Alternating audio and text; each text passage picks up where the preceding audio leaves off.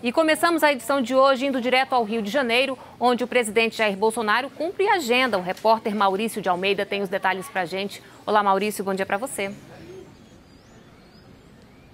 Olá, Carla, bom dia. O presidente da República, Jair Bolsonaro, deve chegar daqui a pouco à Escola de Comando do Estado-Maior do Exército, que fica na Praia Vermelha, zona sul do Rio de Janeiro.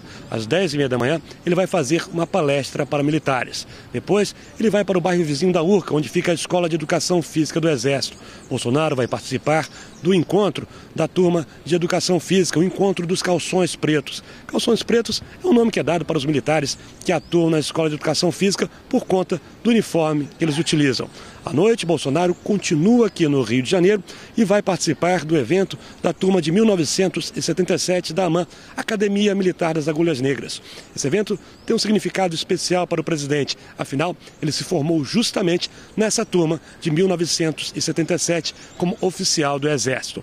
Bolsonaro dorme no Rio de Janeiro e amanhã o presidente da República participa do aniversário da Brigada Paraquedista. Jair Bolsonaro também foi paraquedista do Exército. Voltamos a Brasília. Obrigada, Carla. Maurício.